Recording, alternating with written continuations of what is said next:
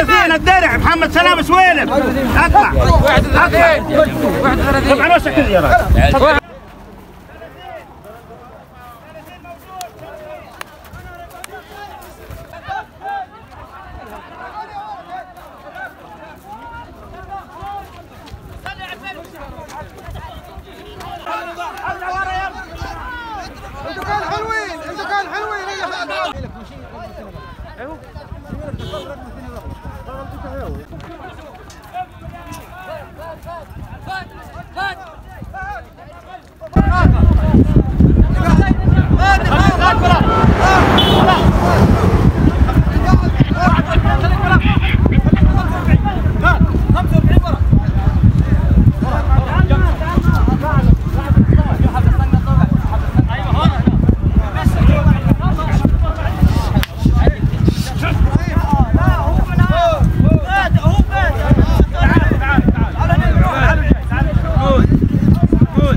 الأعزاء متابعي اليوم السابع في كل مكان. نحييكم من ميدان سباقات الهجن في مدينة شرم الشيخ.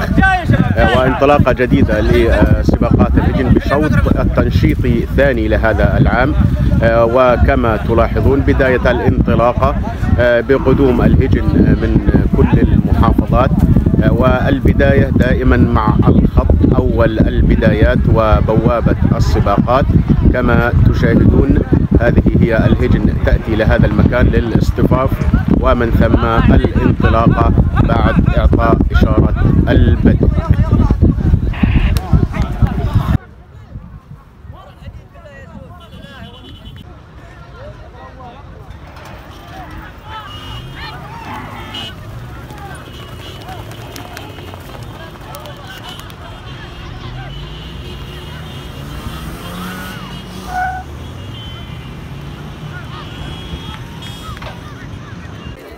فيه؟ 72 43 ماشي خلاص راح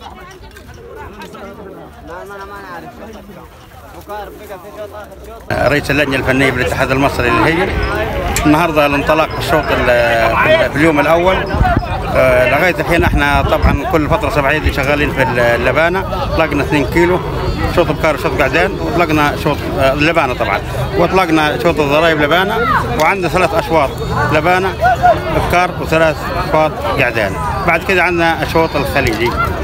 وبعد كده بننتقل للمرحلة الثانية وهي الأربعة كيلو. أول صرايم ثلاثة آه، قعدان واثنين أبقار وبعد كده بن- بفترة صباحية بتنتهي.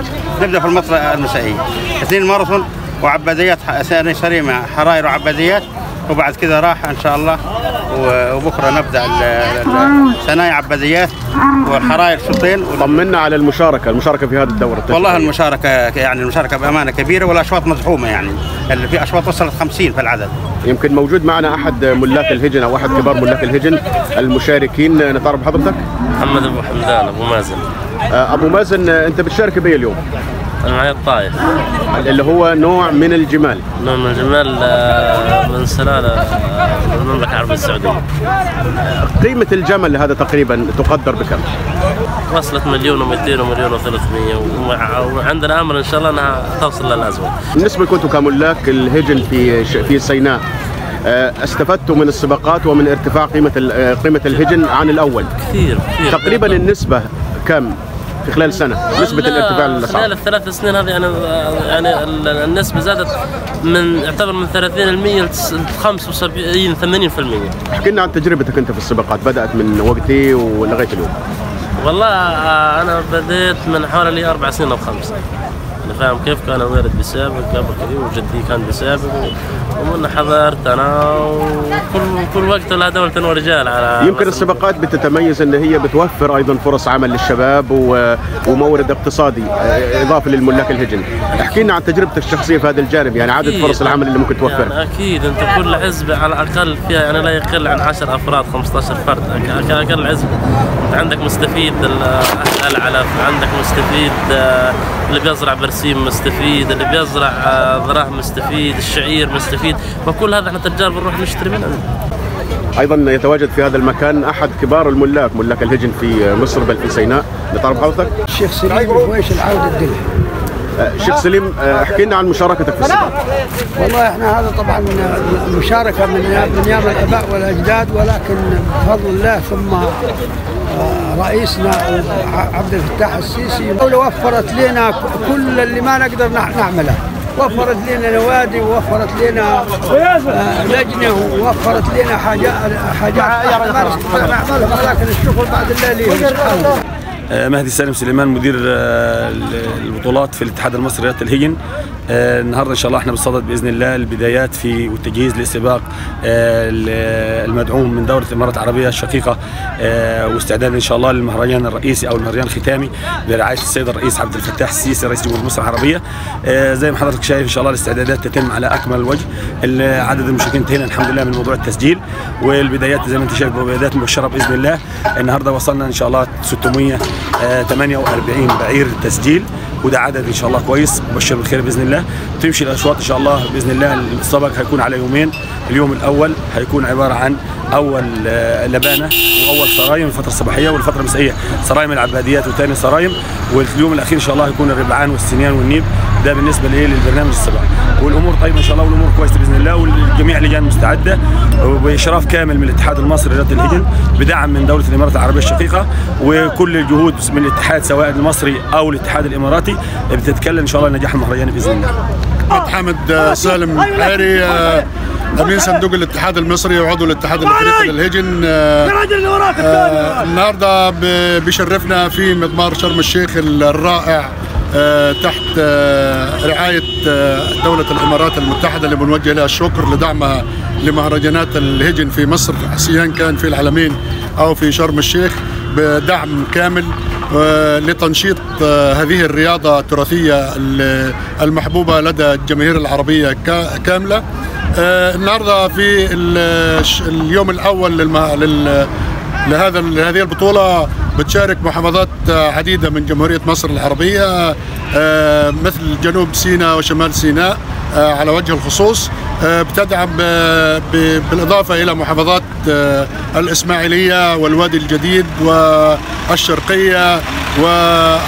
آه، ال- العديد من الأندية آه، المختلفة في المحافظات ال- المهتمة برياضة الهجن. أحمد عبد الحميد مسؤول من قبيلة الشرارات احكي لنا عن تجربتكم أنتم قادمين من أي محافظة؟ تجربتنا من محافظة سرواد الجديد تبعد عن شرم الشيخ حوالي 1300 كيلو.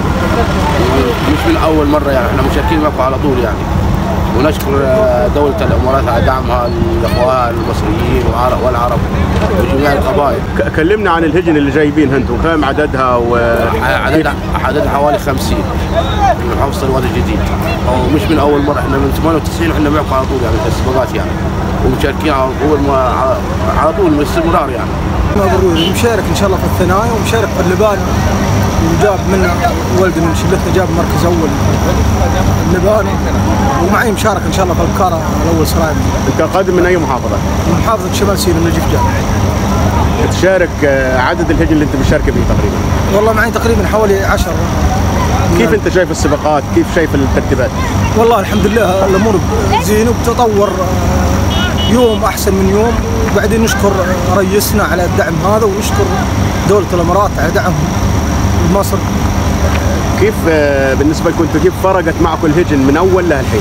والله فرقت كثير. كان بندرب بضعوف وركيب ثقال فتطورت الهجن وصارت آه، جهازات راكب آلي. والحمد لله يعني صرنا بننافس وفي حلال من عندنا بيوصل الامارات هنا وفي حلال بنشارك به في السعودية وبنحقق يعني.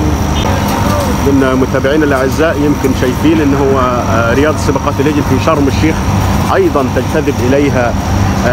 زوار المدينة من الجنسيات الأجنبية آه، يحضرون لهذا المكان يلتقطون الصور التذكارية يحرصون على آه، مشاهدة جانب من هذه الفعاليات